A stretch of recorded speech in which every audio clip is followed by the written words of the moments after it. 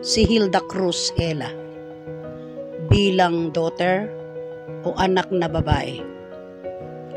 Hinding-hindi makakaila ang lambing na meron siya.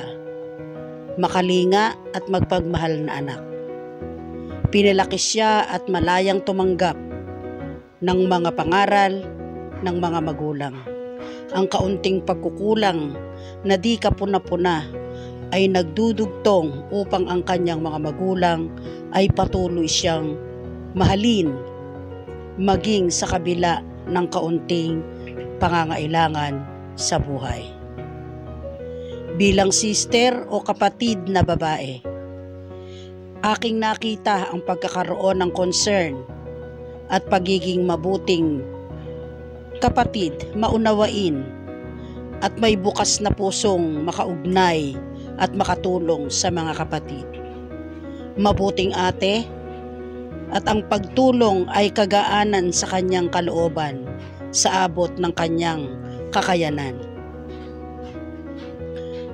Bilang isang wife o asawa, hindi maikakaila ang tamis ng pagmamahal na kanyang inu- iniuukol sa kanyang asawa na si Kuya Alex. Lalo na sa mga panahong may nadar- nagdaramdam o nararamdaman itong kabiyak ng kanyang puso. Walang puwang upang ipagdamot niya ang kanyang pagmamahal kay Kuya Alex. Napakabuti niyang asawa at napaka lambing kung ang pag-uusapan ay sa larangan ng pag-ibig. Bilang mother o nanay, wow, walang hindi ibibigay para sa kanyang mga anak. Isa siyang ulirang ina. Sa munting alalahanin ng kanyang mga anak, daglian siyang malulungkot, ngunit gagawa at gagawa ng paraan upang maipayos ang lahat. Nakalakip ay malawak na pangunawa. Magiliw sa mga anak at ibibigay ang lahat para sa kapakanan at ikaayos ng kabuhayan. Friend o bilang kaibigan, napakabait niya. Ramdam mo na di ka maliligaw. Totoo siyang kaibigan. Masasabihan siya at mapagkakatiwalaan. May busilak na puso at malumanay na ihahayag sa iyo ang mga bagay na nais niyang ipaunawa hindi ka masasaktan o magdaramdam kung siya magsasalita. Napakamarahan niyang magsalita at ngingitian ka lamang kung sakaling ikaw ay may kakulangan o pagkukulang sa iyong mga nagagawa. Bilang mentor, marami akong napagtanungan at isa akong buhay na patotoo na mapagkalinga siya sa kanyang mga kinasasakupan. Walang halong kaplastikan, kung kaya't marirelax ka lang. Cool na cool o kalmadong mentor. Marami kang matututunan sa kanya at magagamit mo sa tunay na buhay. Ang pakikinig sa mga kasama niya ay binibigyan niya ng pansin upang balansihin ang lahat ng mga nangyayari. Bilang guro, minamahal siya ng mga estudyante, kaibigan, ang turing ng mga ito sa kanya. Hindi mahihiyang magsalita sa kanya at magtanong o magsabi ang mga kabataan.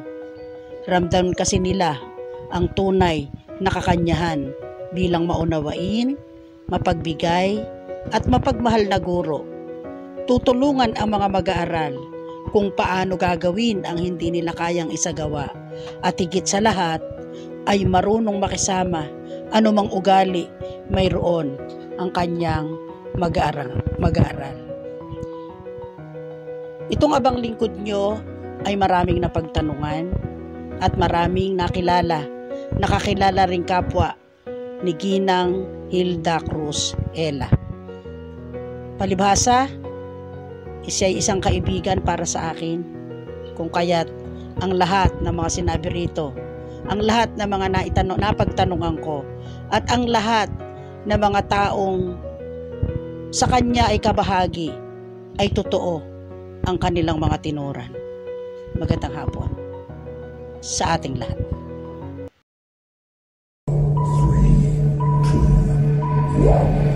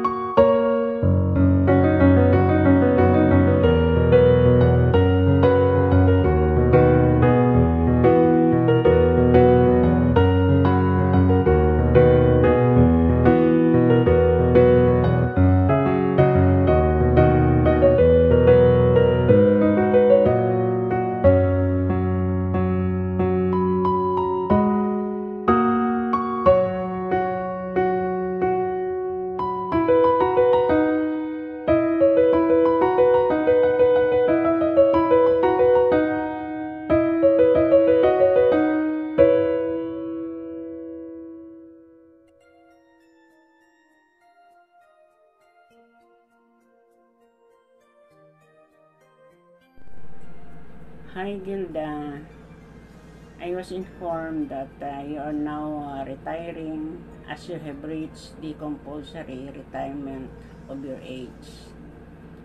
As a retiree, it is enjoyable because you do not have to wake up early to go to school. You will not uh, encounter traffic, no lesson plan, and no worries at all because you have your own time. You can play with your apo and make yourself busy. Sa isang banda, kung minsan hanap-hanapin mo rin ang dati mong ginagawa. So, Gilda, Ella, I wish you good luck and happy, happy retirement and enjoy yourself, stay safe, and make the most of it. Yours truly, Lydia B. Timoteo.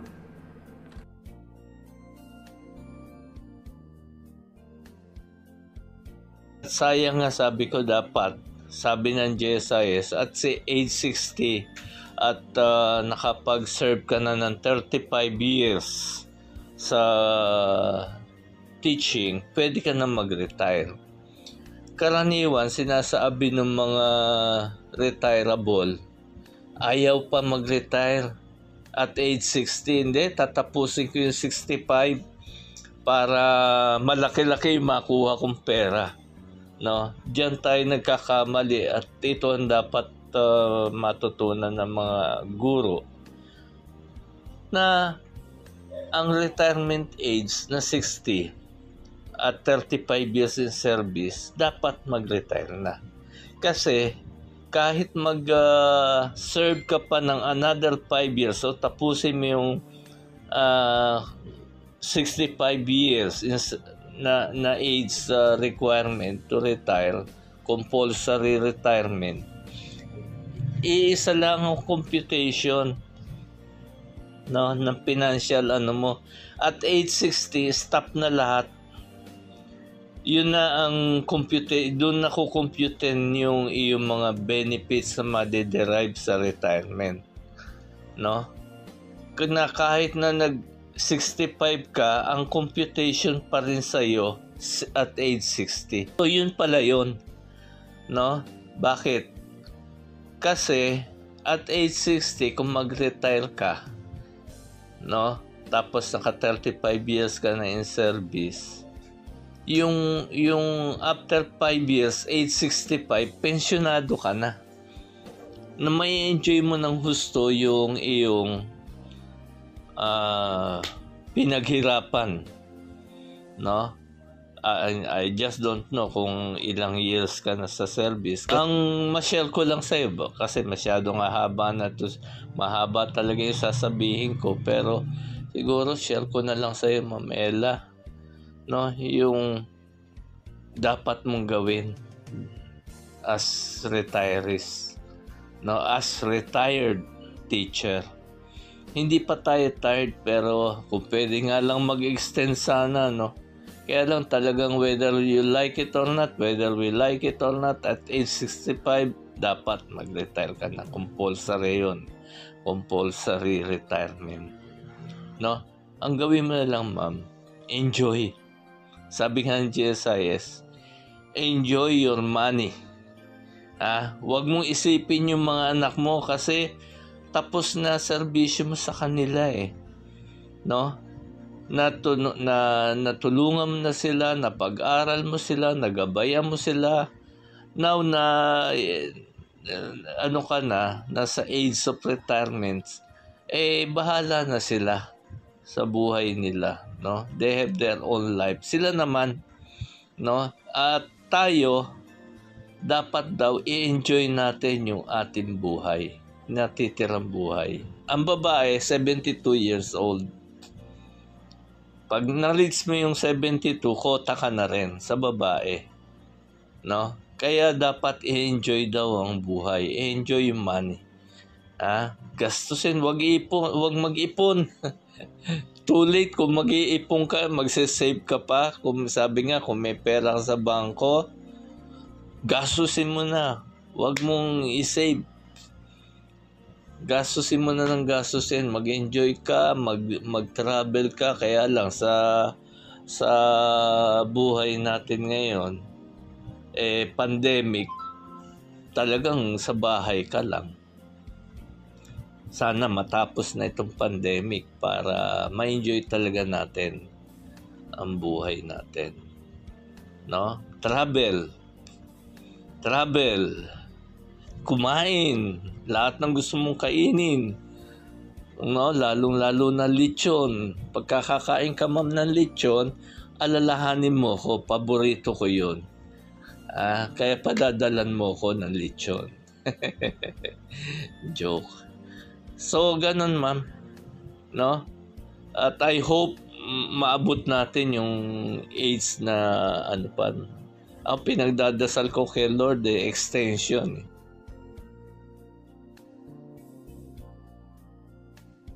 Hello, Mamela. Ah, nabalitaan ko your retiring na. So, masasabi ko lang ay congratulations on your retirement. Enjoy your freedom and unlimited weekend. Uh, masaya ako na nakasama ka sa Santa Elena sa TLE department or THC department noong araw. Uh, simple lang ang buhay natin noon. Uh, konti lang tayo. Masaya. So, uulit ko, uh, i-enjoy mo ang bonding mo kasama ang iyong family. So, congratulations again. Thank you.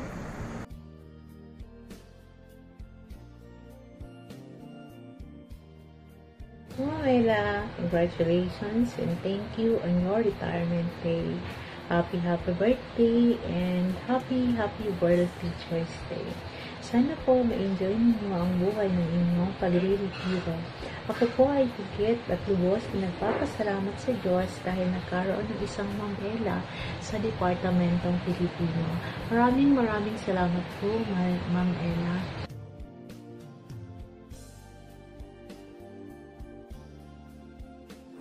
Magandang araw po sa lahat. Uh, Ate Hilda, happy birthday. Enjoy your day. Um, sana uh, bigyan ka ni Lord na magandang kalusugan at stay happy always.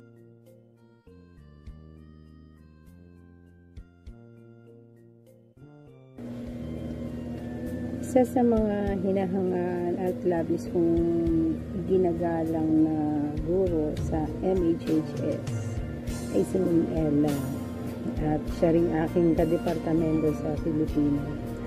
Hinahangaan ko si Ma'am Ella dahil sa kanyang dedikasyon sa pagtuturo at ang manatili ng tatlo hanggang tatlong dekada sa pagtuturo ay hindi biro. Matuturing itong isang achievement sa buhay dahil alam natin na hindi madali ang ating piniling profesyon. Pero sa kabila nito, si Ma'am Ella ay uh, naging isang inspirasyon sa mga bata, sa mga mag-aaral at sa mga kapwa niya guro sa pananatili sa serbisyo ng napakahabang panahon. At dahil dyan, uh, Ma'am Ella, um, isa pong pagbati at pagpupugay sa iyong malaking achievement.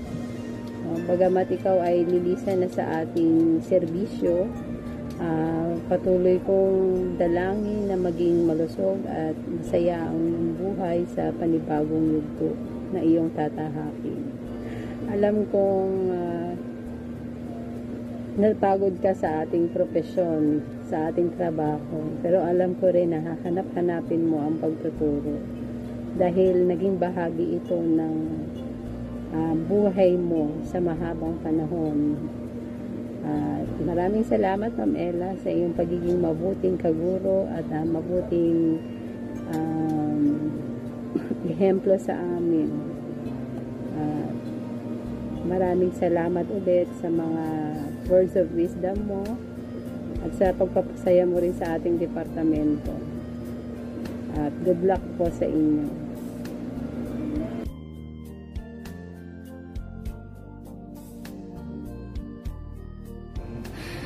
Hello.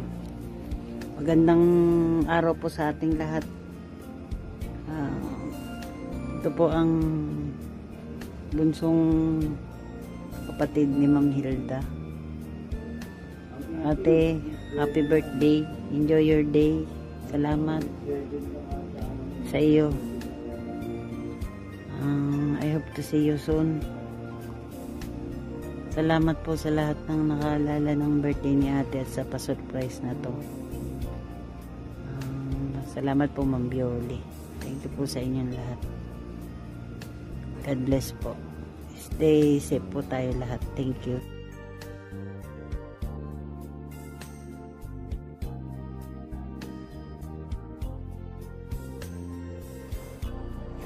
Hello, Ma'am Ella. Happy birthday. Ah, ang message ko sa iyo ay magkaroon ka pa ng ah, mahabang buhay at good health. Enjoy mo yung iyong retirement. Ah, isa sa mga bagay na na-appreciate ko sa iyo, Ma'am Ella, yung hindi mo ko walang pagkakataon na hindi mo sinagot yung mga tanong ko sa'yo. No? Lagi akong entertain sa mga tanong ko sa'yo, lalo na nung nasa grade 10 pa ako. Isa yan sa mga mamimiss ko na hindi mo hinayaan na may tanong ko sa'yo na hindi mo nasasagot. Yun lang po. Wish you all the best, Ma'am Ella. Happy birthday po ulit. Bye.